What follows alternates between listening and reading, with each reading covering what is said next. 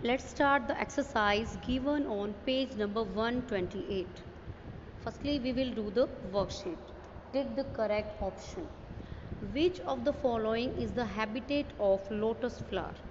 We know that lotus flower it grows in water. So the we will see the options. First one is desert, then pond, then mountain and polar region. When we know that lotus is an aquatic plant, then desert can't be the answer, mountain can't be the answer and polar region also can't be the answer because we have one aquatic body present here that is the pond. So the answer is pond. Which the following is found in mountain regions? So out of these animals, which do we find in the mountain regions? Yak, snow leopard, both of these or none of these. We know yak are found in mountain regions, snow leopards they are found in these mountain regions. So both of these options yak and snow leopard they are found in the mountain region. So the answer will be C part that is both of these.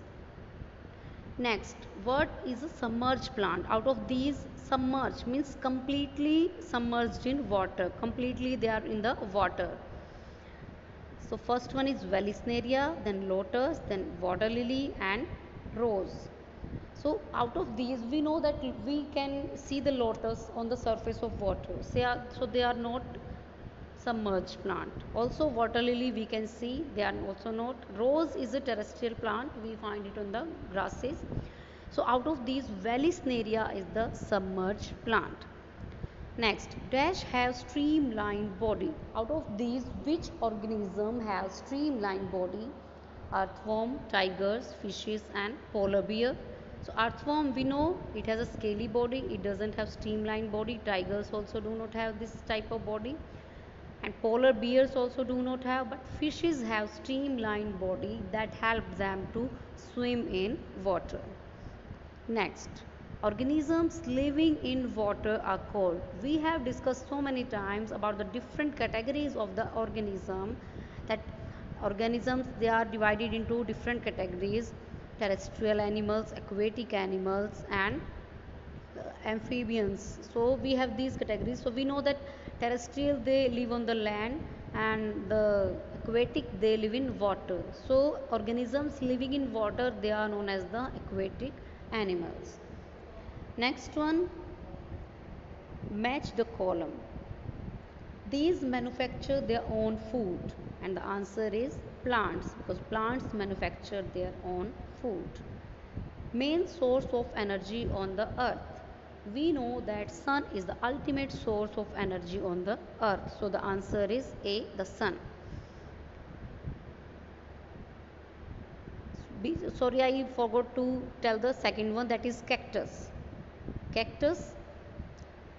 So cactus has a waxy coating on the leaves. We have studied that cactus in cactus the leaves they are modified into spines and thus they, they are wax they have waxy coating in order to reduce the loss of water by transpiration. So second cactus the answer will be c waxy coating on the leaves.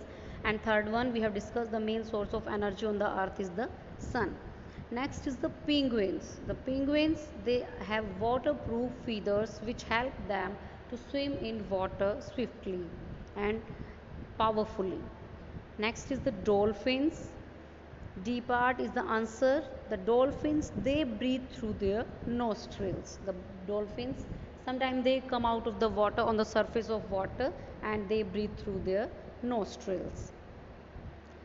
Fill in the blanks. A place where plants and animals live in water is called a habitat. What type of habitat? We have discussed that when the plants or animals that live in water they are known as the aquatic animals and such habitat is known as the aquatic habitat. Sunlight is an abiotic component of the habitat. Of any habitat, the sunlight is what type of component? We know it very well. It is non-living and it belongs to the abiotic category of the components. Next, the respiratory organs of fish are gills. In fishes, the respiratory organs are gills. Fish have gills that extract oxygen from water. So, they are the respiratory organs. So, how they help in respiration?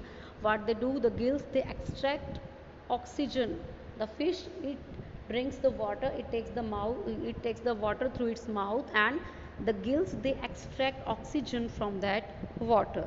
In this way the gills they help in the respiration process of a fish. Next hydrilla plants remain completely submerged in water. So they are submerged they, they are a category of submerged plant. They are completely submerged in water completely drowned in water. Means submerged they are covered with water. They are found in the lower regions of any water body. They are completely